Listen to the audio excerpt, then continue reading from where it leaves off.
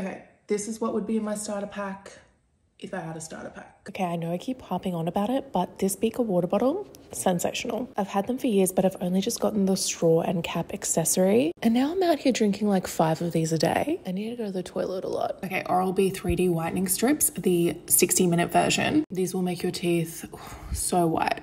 Next is the Swarovski tennis necklace. I always get questions on this. I also have the matching bracelet, but I don't know where I put it. I wear this to the beach, in the pool, in the shower, and I never take it off, and it is fine, but it has slightly dulled its shine. Okay, the next one comes as no surprise. It's the By Terry CC Serum in Sunny Flash. I've been raving about this for years. I think it's my all-time favorite makeup slash skincare product. It just gives the skin such a nice flush of color. It also has these light reflecting pigments in it to sort of reduce the look of pimples and make your skin look all one shade. And finally, I have been collecting these Royal Albert mugs for years now. They're so special to drink out of every single day and they're so